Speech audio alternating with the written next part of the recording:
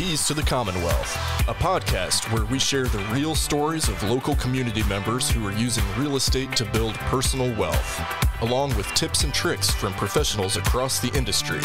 And now, your host, Landry Fields. Welcome back to another episode of the Keys to the Commonwealth podcast. Uh, I'm joined today by Joseph Back of Rapid Fire uh, Investments. Is Rapid Fire Investments, I think? Yeah, Rapid Fire Investments, Rapid Fire Home Buyers. Home buyers. Yep.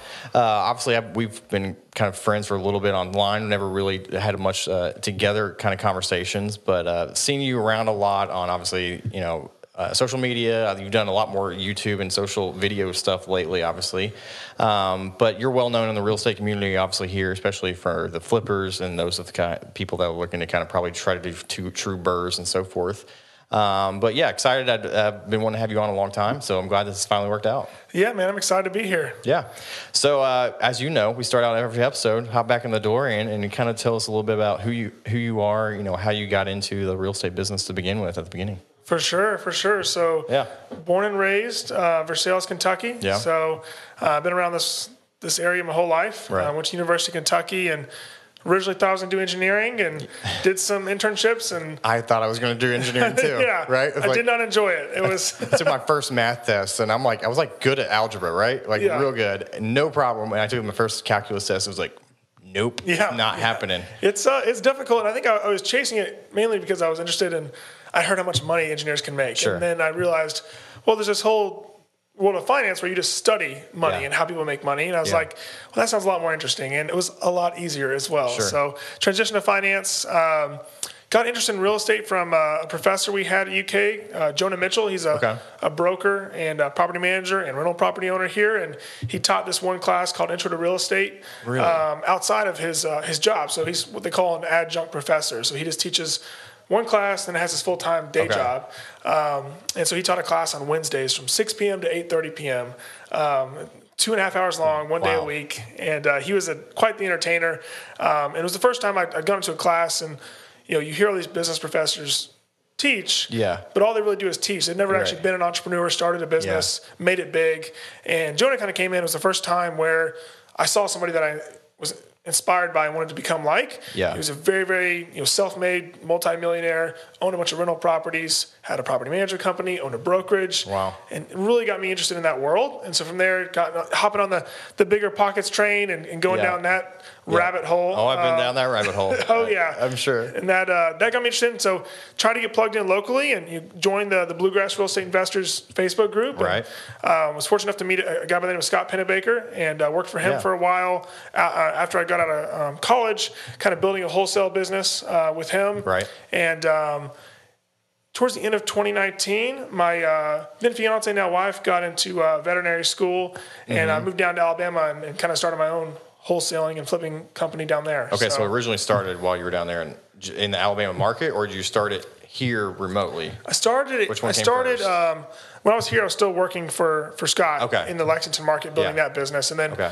jumped down to Alabama and started my own company in Montgomery. Gotcha. So- And that one's still going too. Yeah, yeah, still going. We got an office down there. We've got a another office in Columbus, Georgia, and obviously I'm back here in Lexington Yeah. now, which I'm really excited about. So getting that office growing and, and And it's probably amazing just to sit back and see how far it's grown in such a short amount of time, right? We've been very, very fortunate. Obviously, it's been quite a hot market. I attribute a lot Yeah. of success to that, but it's been a lot of fun. And it's, Yeah. it's the numbers we used to dream about doing in a month, we now do in a week. So that's kind of cool. It's uh, it's been a wild ride. Right.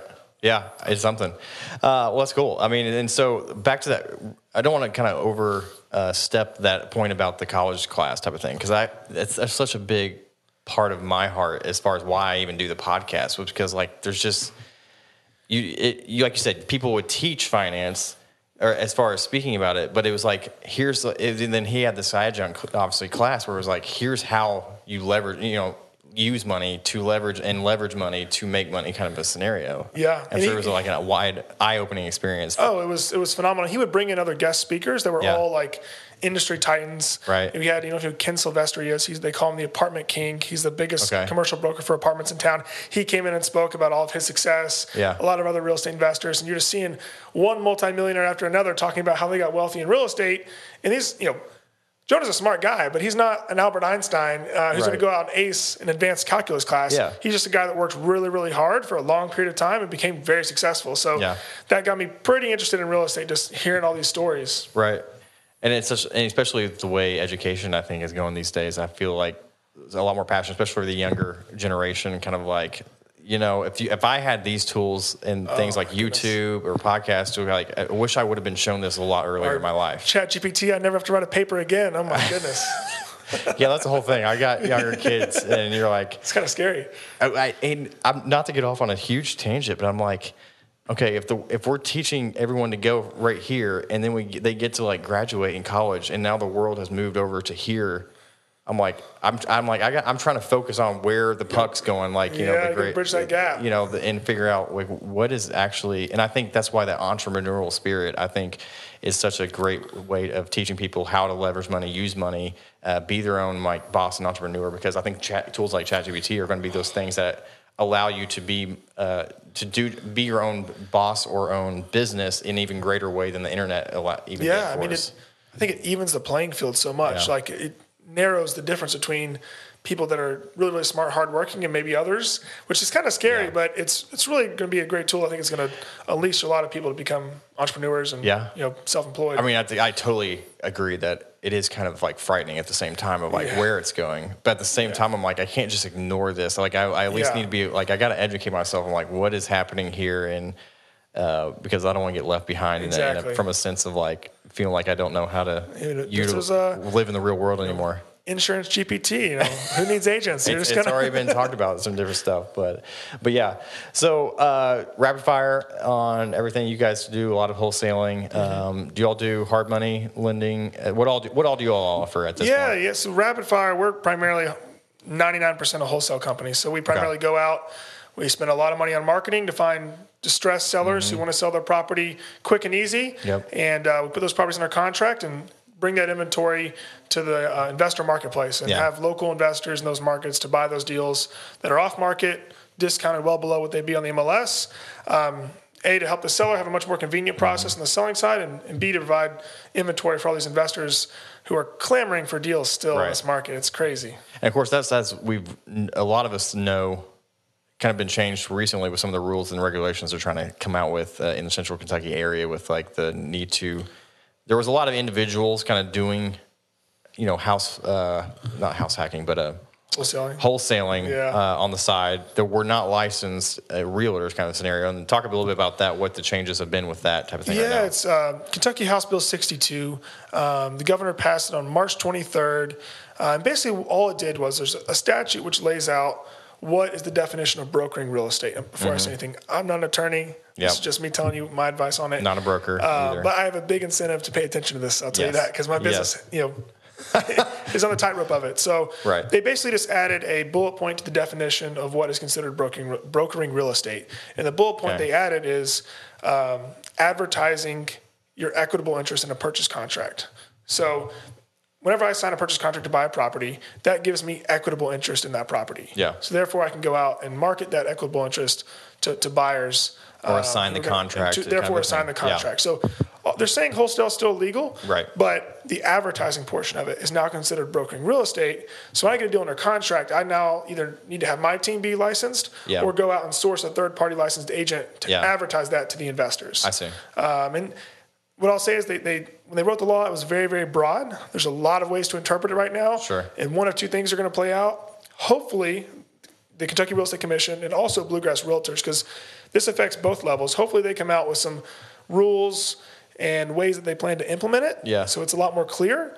Or if they don't do that in time by June 22nd, then um, it's going to be the Wild West. And the way the rules are going to come down is someone gets sued, a ruling is held on it, Oh, and then you got precedent. So uh, we'll see what happens. We're definitely watching it very closely, staying Yeah. in contact with both the commission and here locally the Bluegrass Realtors, trying to figure that out. Yeah. Because there's a lot of questions still to be answered and a very short amount of time to get those answers. So we'll see. And so I could see both sides in the sense of like, you know, needing some kind of reassurance from a legislation slide, side of things. And, you know, as we all know, legislation a lot of times can mess things up. But as like you said, but then sometimes, like I guess right now, it's potentially way too broad of a scenario, and so the interpretation is that part that kind of uh, you can get stuck. You don't want to get stuck in the middle of that. how it's going to get implemented and what you know, what is considered advertising, right? Can Yeah. I put it behind a password protected website, behind a paywall? Social media. Is it me sending a text message to one person?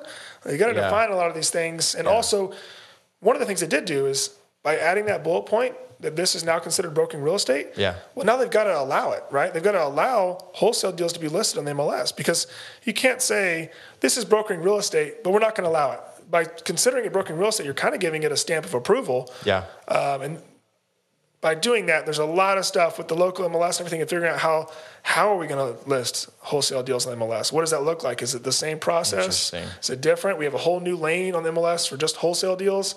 Um, as I said, there's Yeah. a lot to figure out Yeah. in a very short amount of time to do it. So we'll see what happens. Um, I know they're working hard to, to figure that out, but Interesting. Uh, I don't think I, was, I don't think I was realized it was that in depth, honestly, until you just kind of mentioned all that. We've done a lot of research because we want to make sure we get Right. right. right, We don't want to get we don't want the one that gets slapped in the wrist and Yeah. um, when it does Right, and you want to you want to be able to do work appropriately the way it's supposed to be done legally, type of thing. But Exactly. If you're not paying attention, you could easily do something that is uh, considered illegal, even if you're not trying to. Hundred percent. Yeah. especially in real estate and so Especially. forth, or insurance, et cetera. Um, back to your kind of your personal investment story, though. I mean, did you start out? Uh, so that kind of got you in the interested in real estate in general, and that Mm-hmm. sort of with college. But uh, what which came first, kind of the investing in real estate or the brokering, uh, wholesaling aspect? Uh, not, bro- not brokering, wholesaling. Wholesaling. Yeah, it kind of came one and the same. Right. I started Okay. working. Um, was that a means to an end, as far as a t- not, not not to an end. was that a means to kind of into a, it? you know, wholesaling is like the best way to get Yeah. access to the best deals, right? I see probably Yeah. the best deals before anybody else. Now, Right. I can choose to keep those or to wholesale them. Yeah. And so it definitely was a way just to for me to dive into the industry. Um, you know, my, my goal wasn't or not my goal. My plan was not to go work in in real estate full time. It was just to do it on the side. Yeah. I had I had started interning um, for a local uh, investor, Scott, uh, like, like I mentioned, Mm-hmm. and um, we started having a lot of success with with what we were doing off market, with Yeah. sending these mailers and stuff. And right before I graduated, I had a I had a job offer to go work in wealth wealth management. I thought that's what I was going to do, and I'd actually already I think I'd already accepted that job offer. And then they put it in front of me, hey. We think there's a business here. We're not sure what it looks like or how it's going to work, but we'll put some money behind the marketing. Do you want to jump at it? And I was kind of like, there's never going to be a, a time in my life where it's any easier to take this jump, Yeah, right? yeah. I'm only going to have more bills, Yeah. kids, a Right. wife, whatever. Right now, I'm fresh out of school, very low bills. I may as well take the jump now. And so that's kind of what prompted me going into it. Yeah. And then from there, you know, once I got in there, it was all about like, it's great working this business, but my whole goal, you know, wholesaling is very, very active. I wake up every day. Our team wakes up every week with zero contracts. We got to get more that week, more that next month, and so on and so forth. There's no repeat business. And so the goal is to use that active income to then go buy passive rental properties that generate that passive income that, Yeah. that everybody's chasing. And so, Because uh, wholesaling is not easy. I mean, to uh, Oh, it's- to what you're saying there. I mean, people I think think it's going to be a lot easier, but I mean, just I know even from the amount of money you got to spend per for the mailers for whatever else your avenue you're using, it's, it's a lot. yeah, we spend millions of dollars a year on marketing, like millions. more- Lots of time going to taking pictures, Yeah. figuring out like getting under a contract, Yeah, I mean- advertising that contract. We go out I on mean, appointments. people- we, we hit like you know twenty five percent. We we get rejected three to four times. Yeah. we're going out there, so it's it's a lot of time, effort, and money. yeah. Um, yeah, it is. Uh, I applaud you for that. I mean, I don't, like I said, I, it's not something I would take on for sure. I mean, of course, I'm an, the idiot who like opened his own insurance agency, which it's a I, lot of work, you know, too. I don't think. I think so. I think honestly, to the uh, to the aspect of entrepreneurship, yeah, it has such a glamorous look. I think a lot of times, but I always tell people, make I've never worked harder in my life, and I'm much. I'm definitely happier. Um, but and you have to definitely kind of uh, maybe putting on the business owner's hat for a second, find ways to balance work life, you know, personal life, family life in a way that's not going to just kill you because you could easily let the business life overtake everything. Yeah, it is, it is challenging. You got to find that balance and set boundaries for Yeah. sure. What's it been like kind of growing the business though, as far as stepping into the role of like being a team leader, employees and so forth like that? Anything you've learned along those lines? I know it's kind of a little oh, bit of a left field question here, but No, no. I mean, it, it's a great question because we I have learned a lot, and Yeah. it's crazy because you look back a year and a half, two years ago, you know, you're really focused on. It was operating the business, right? The X's and O's, right? Yeah. In your world, you know, selling insurance, finding Yeah. clients, Yeah. you know, operating on that. And when you get to a certain certain size, you know, eight, nine, ten employees, your your job completely changes. You go from working in the business and like operating Mm-hmm. and focusing on the X's and O's to I'm I'm purely just a leader and manager of people now. Working on the business. Exactly. Yeah, well, it's, it's really just the, the aspect of like the leadership and management of people. You're really just making making sure these people Yeah. Hit the X's and O's, have the right training, have the right attitude.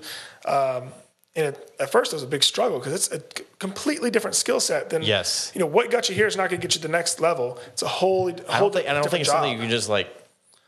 I mean, it's something you really. I don't think you can just teach it. Like you just have to experience it and learn it, and have mentors along the way. In a, in a lot of ways, I'd be honest. In Yeah. my opinion. Oh, 100 percent. I mean, I think you were part of a few kind of mastermind groups and, and have different mentors, and you can read some of the stuff in books. And we've got good, Yeah. good nuggets out of some of those things, but there's nothing that can be said for whenever one of those big cultural or people problems come up, being able Yeah. to call somebody who's experienced that like 10 times over, Yeah. and, and get how they would you know, their advice on how to handle it. So, it's been a big learning process and uh, totally different job than when I first started out. So Yeah. it's kind of been the, the, the growing of that. It's crazy. That's, yeah, it's an it's a different feeling for sure, and I've definitely gone through a lot of that with uh, grow my own staff and putting on different. And, you know, they kind of become family. and You realize that they're kind of Yeah. looking up to you in some ways, and you're honestly being the provider for their Scary. livelihood in a lot of ways, which is a big responsibility, honestly, Yeah. in, in that sense, you know. So, it, yeah, but that's kind of a uh, a different, like I said, question out of left field there in that sense. But back to uh, kind of your personal uh, Yeah. investment side of things, kind of what's that look like now as far as for you, what you have in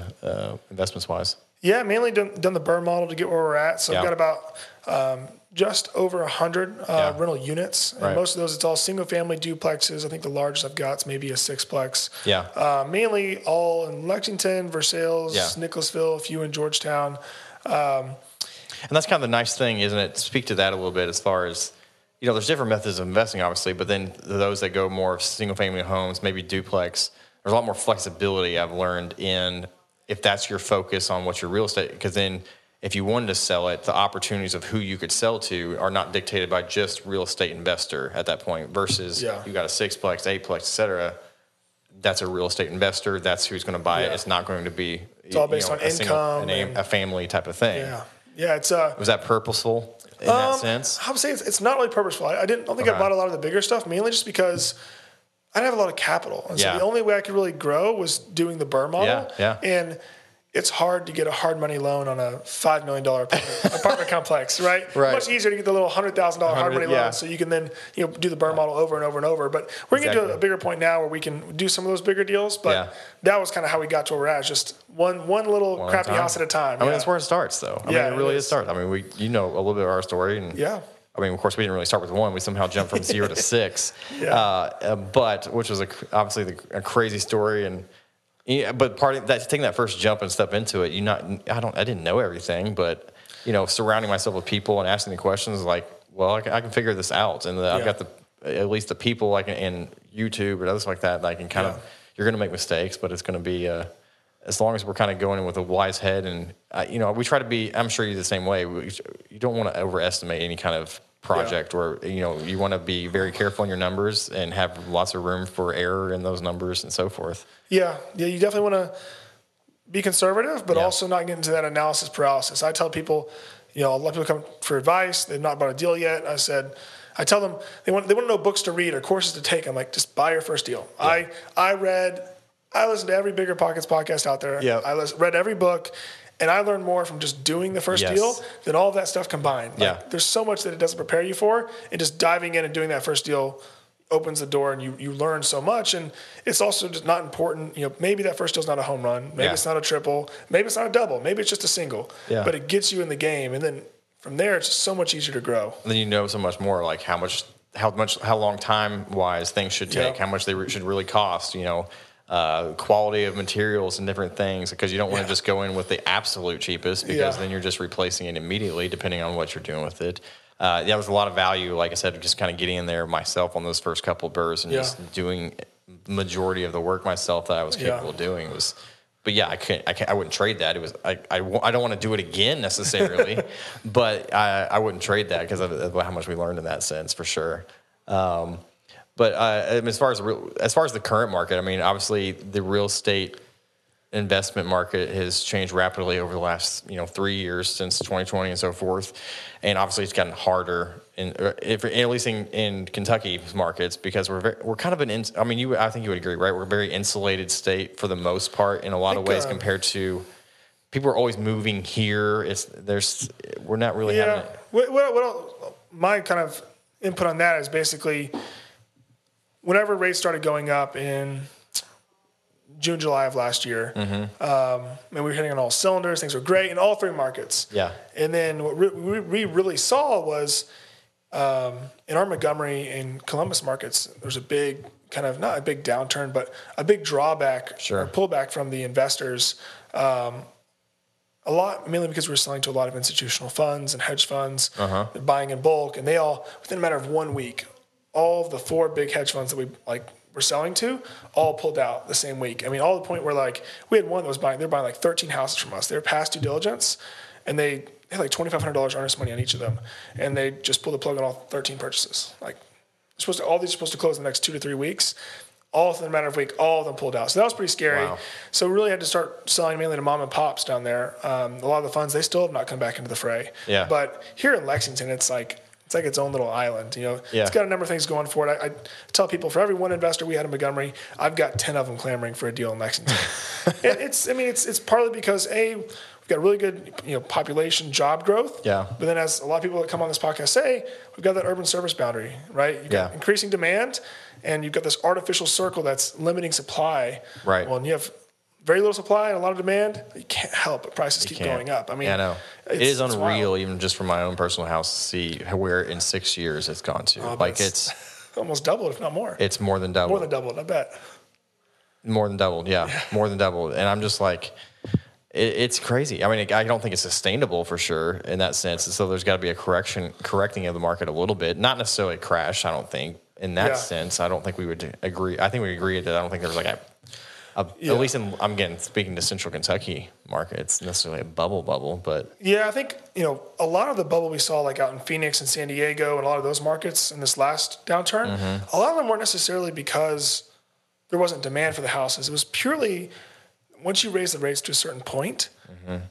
none of the the median earning person in that market couldn't qualify for a mortgage Yeah. for the median household property. I think we saw there was a guy that spoke in one of our, our masterminds. He talked about how at the peak, um, right when they started raising rates in like August, September, uh, or no, it was a little bit before that.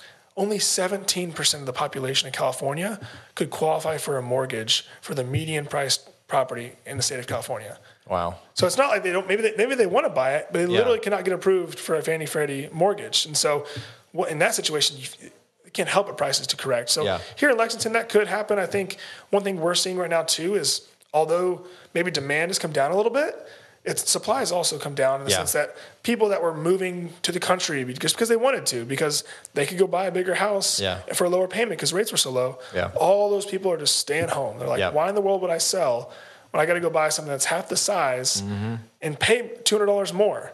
Uh, they're all staying in their houses. They're only moving if they absolutely have to. So there's less inventory coming onto the market, less demand. Yeah, Those people are, of still moving out. here, Still moving which here. is why it's still kind of kind of Exactly. that, uh, still kind of making those making those uh, increases on our houses still go up at this point. So uh, you know, it is. It is. Well, I mean, uh, what do you think? Kind of 2020, and obviously no one knows, but where do you Yeah. think kind of things start heading 2023 from what you all Yeah, are kind of know- looking at? Obviously, you kind of got to always be watching where things may be headed Yeah. and so forth. And I like to real estate's very local, right? I mean, we Yeah. saw a huge downturn in the Phoenixes and you know San Diego's of the world last year. Here in Kentucky and Lexington, prices have kept going up. So it's it's very local. I think for Lexington, I don't see anything really changing and, Yeah. until they open up the urban service boundary.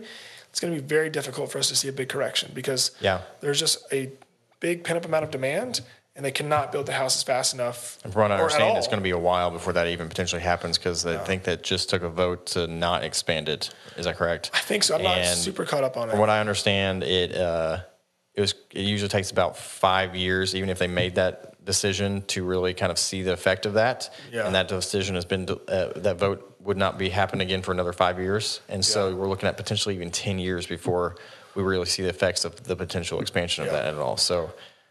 I mean, who knows what's going to happen in the next ten years in that sense, and uh, and and with that aspect in mind, I mean, I and people still moving here. I mean, it might not really slow down. I mean, it probably slows down, but it's like I don't think it's going to bubble pop, pop type of scenario. I don't think for, it for at least pop. a while. for a Yeah, I while. don't, I don't see that either. I think what we are seeing is a lot of booms in you know the suburb cities, Yeah, right? yeah. I mean, Nicholasville is the new Lexington, right? It, Right. You know, they're building tons and tons of new homes in Nicholasville, and Yeah. the demand's there to fill it because it's it's the only city. You know, that buds up to Lexington, where the urban service urban service boundary goes all the way up to the county line. Yeah. So it's basically just become an extension. So a lot of these these these markets that are Yeah. you know Richmond, um, you know Georgetown, obviously they're Yeah. growing like crazy because all that demand can't go anywhere else. So they're going to these suburb cities and, and working in Lexington. Yeah. And I, I love those suburb cities. I know they want to have their own identity of like we are Nicholasville, we are Winchester, we are Richmond, we Yeah. are Versailles, uh, et cetera. But it's kind of, I think you definitely see the picture is starting to procure into more of like when you think of Lexington, really you have to start thinking about the other towns immediately around it that Yep. you never really did that before. Uh, kind of like the way, you know, Louisville, Yeah. et cetera is. I mean, you start, you don't just think of like just the downtown Jefferson Yeah, county yeah, at this point. Indiana is s- Louisville. You see that as Louisville you see, like- exactly, and a lot of those other counties around it and so forth. So, uh, yeah, it's going to be interesting. I don't think it's slowing down like you're saying, and uh, it's going to be interesting 2023 for year. And obviously, I mean, it's made it harder on the Burr method model, especially Yeah. with rates at this point. It has. Um, but you all are still seeing success. Obviously, there's still, as you mentioned, in this market, you know, a whole lot more buyers per one person compared to your other markets. Then, Yeah, I think here we're seeing a lot more flipping activity, right? Yeah. Um, a lot of the people that really are doing true burrs and really trying to get good cash flow have migrated to the Harrodsburgs and Danvilles, and they've gone way far out. Yeah. So we're still selling inventory to them in those places. Yeah. And a lot of people that are doing the burr here, which is I'm still doing the burr strategy in Lexington. yeah, I'm not even trying necessarily to, to cash flow. I'm trying to have it break even to maybe fifty dollars a month. yeah, As long as I have no money in the deal, right. every one of those I do is just like a little forced saving account. Which is crazy that even fifty dollars a month, because most people think like, oh, you're gonna have a rental property, you're gonna cash flow. I, I think that's a, a common misconception, right? Yeah. I'm gonna have a rental property, I'm gonna make a bunch of cash on a monthly basis. You're like, no, No, you never No, make cash not. flow. It just keeps you in the game. The Yeah. real return comes that debt pay down Yes. and appreciation. Like, and that's what the whole mindset has to be. I mean, Yeah. it can't be unless you're wanting to go all in, creating a huge network of, Uh, or not network, but a huge portfolio of Yeah. properties. That's when you're going to really start seeing a cash flow scenario. That's a maybe a huge passive income for you. Maybe that switches to your career. But I mean, I knew we were like just ecstatic that we were able to get about two hundred fifty dollars a door originally. You know, before rates started just climbing the way they are were type of thing. And so. yeah. I And it's two hundred and fifty dollars a door theoretically. You have one HVAC go out, there Yes. goes your cash flow for the whole year, Yes, right? yes. And that's the hard part with rentals is until you have a huge portfolio Yeah. where the other ones can kind of pay for that HVAC or that roof or Yeah. that hot water heater. You know, it's very hard to cash flow unless you really do a true burn, Right. fix all those big systems in the front end. But kind of like what I was talking about with like you know us having employees and so forth. I mean, if unless you're hiring out a property manager, which I mean, obviously you can, but I mean, you're still kind of you're married to someone's livelihood from a living standpoint in a big way that are relying on you at the same time. And I don't think people probably going into it at owning real estate think about that either. They don't. Yeah, you get a lot of. I still, I'm still so stressed out by just all the people that work for us that Yeah. I feel responsible for. But on that side too, yeah, you're providing a, a home to many, many families. Yeah. So it's And when it, when you're involved with people, it's it's always going to be messy, and as in any at some point, it's always going to be messy, and how we handle that. gotta have systems and processes and stick to them. and processes. It's hard to. People give you a lot of you know, sob stories, Yeah. but you got to keep to those systems and processes. systems, processes, and I would say goals. Or what are Yeah. some of your goals that you're kind of hoping for down the Yeah, road? yeah. You know, this year um, we've got our three offices. Mm-hmm. Our Columbus, Georgia office is our, our newest. It's a little smaller, but Okay. we're growing it really well. Really well. Where's Columbus, Georgia? It's um, it's about an hour and a half southwest from uh, Atlanta. It's right on the Okay. um, kind of Georgia, um, Alabama line. Okay. It's about the same size as uh, as Montgomery, about four hundred thousand metro population. Okay. The big kind of employer there is Fort Benning. They're Yes. massive employer. Yeah, yeah, there. So yeah, yeah, yeah. That's kind of what a lot of military. Um, but we got it down there. The goal this year is open a fourth office sometime in Q3, Q4. Okay. Um, not exactly sure where yet. Maybe Cincinnati, maybe Yeah. Louisville, may go down to Birmingham. Um, we're still kind of Right. figuring that out. Um, and then um, our goal this year is to you know, buy and sell uh, 485 houses. So we did 300 last year. Okay. We're trying to really grow that this year. So uh, the market's responded well. Yeah. Um, all three of our offices, we're seeing a lot of buyer demand um, in, in this towards the end of Q1 and especially right now in Q2. Um, we're hoping that continues. And uh, yeah, that's kind of our goals. And it's on the rental side. Uh, the goal this year is to buy about 50 new rentals. We're really trying to, Say 50? yeah, trying to buy a lot more this year. I kind Okay. of, we, I sold a bunch last year, so Oh, okay. I, I- we, we heard some economic forecast Yeah. in like Q1, Q2, and I got pretty concerned about where things were going to head Yeah. with the rates going up. And we, I talked to some guys who who've been through you know the 2008, 2009. So I was like, man, what would you do right now? What Yeah. what happened then Yeah. that I can talk to you about? Maybe learn some lessons and not have to experience it. And their advice was, when that when that, that recession happened, the A class and B class properties got hit a little bit. They didn't do too bad, but all those C and D class properties that have doubled in value, they went basically to zero. They really, really fell off a cliff. and see. so I had a lot of fairly C class multifamily in Frankfort Okay. and in Richmond, and they had basically doubled in value since I bought them, and I hadn't really done anything. Yep. So I was like, you know what, this is time to cash out. And we sold about, I think sold about 50 units last year. Yeah. Um, okay. And now I'm really focused on buying like B class single family Okay. rentals in Lexington. So Yeah. that's the goal is to buy a lot more of those. Hard to come by, but when we find them, we, we Hard to come by. You would know more than me. I mean, it seems like I, I mean I know. Yeah, it's hard to come by. You see something on posted on the Facebook group or wherever. It's Oh, you know it's gone or there's And- people just buying it sight unseen. Like they don't even care. Oh. Like I'll buy it. You know, I mean, right I think, um, especially if it's a Lexington deal for a Yeah. wholesale business, Yeah. about, I would say about 70, 80% go sight unseen, full asking within 60 minutes. Wow. So, I mean, I was going to lead into my next point as far as uh, to kind of close this out was the ex- buying experience. So, I mean, if someone was purchasing a house, obviously there's an email list. You know, I Yeah. get some of those emails where you say, hey, here's a, a property that's for sale, stuff like that. So, walk through from on my end side of things if I was going to buy a property from you all, we kind of what that that looks like. For sure, yeah. Especially here in Lexington, um, we've got we've got Andy on our team, who's our investment sales specialist. Mm-hmm. His job is all day to be networking with investors like yourself, Yeah. figuring out what you're looking for. Uh, but if you want to get on the list, basically, you go to rapidfireinvestments.com. Mm-hmm. There'll be a sign up section. Once you sign up, Andy's going to reach out to you, find out.